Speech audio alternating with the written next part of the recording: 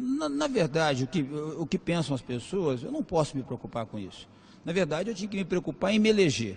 Da forma, é, sem dinheiro. Pensa só, você, Thaís, sem dinheiro, sem estrutura, sem apoio do governo. Você quer ser deputada federal. Você, você, O senhor já ganhou 500 mil do partido, Oi? né? O senhor já, já ganhou 500 mil do partido, não foi É, isso? nós recebemos uma doação do PR de 500 mil reais. Mas se você pegar perto dos valores recebidos pelos demais, é uma quantidade muito pequena. Para uma campanha eleitoral onde a previsão é gastar até 5 milhões e 700, é, então eu devo receber mais, eu devo receber mais um, um valor ainda do partido. Então isso é o mínimo. Então eu não tenho dinheiro, eu não, tenho- eu não sou empresário, eu não sou fazendeiro, eu não tenho 10 mil cabeças de gado, eu não sou um dos políticos mais ricos do Brasil. Como que eu vou fazer campanha? A gente tem que contratar gente, tem que tem despesas, tem que contratar, arrumar carro, nós tem que abrir comitê, pagar advogado, pagar contador, pagar rede. é, Então você tem que. Como que eu vou pagar isso? Eu não tenho dinheiro. Não recebi. Você viu se tem alguma doação? Não tem além dessa. É apenas de fundo partidário, é o que prevê a lei.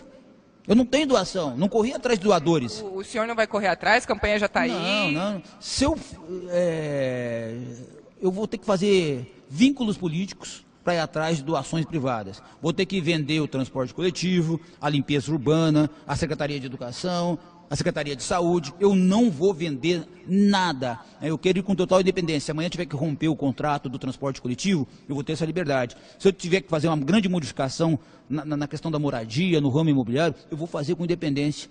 Eu faço minha campanha com, com, com o dinheiro que tiver. Se eu tivesse que fazer a campanha com só 500 mil, eu faria. Se tiver, eu estou acostumado a fazer campanhas, campanhas, campanhas humildes, campanhas pobres. Então eu estou acostumado. Eu, eu, venho, eu venho da dificuldade. Então é, esse é o diferencial. E eu fui uma das pessoas que votou pelo, por acabar, do, acabar com o financiamento privado.